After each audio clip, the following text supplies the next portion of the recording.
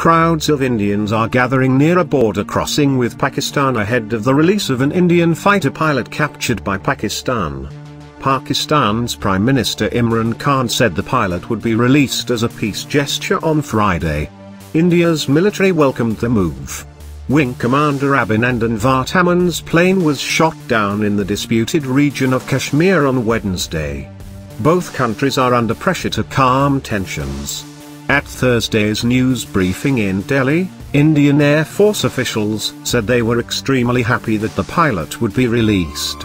On Tuesday, India struck what it said was a militant camp in Pakistan in retaliation for a suicide bombing that killed at least 40 Indian troops in Kashmir on 14 February.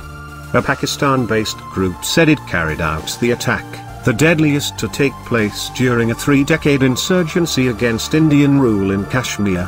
Pakistan, which denies any involvement in the 14 February attack, said it had no choice but to retaliate to the Indian raids with airstrikes on Wednesday.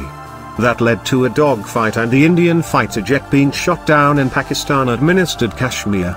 Tens of thousands of troops remain positioned on either side of the border in the disputed region.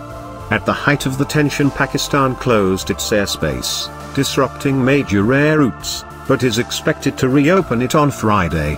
On Friday, thousands of Indians had gathered at the Wagah border crossing, clutching sweets, banners and garlands as they waited for the pilot's return.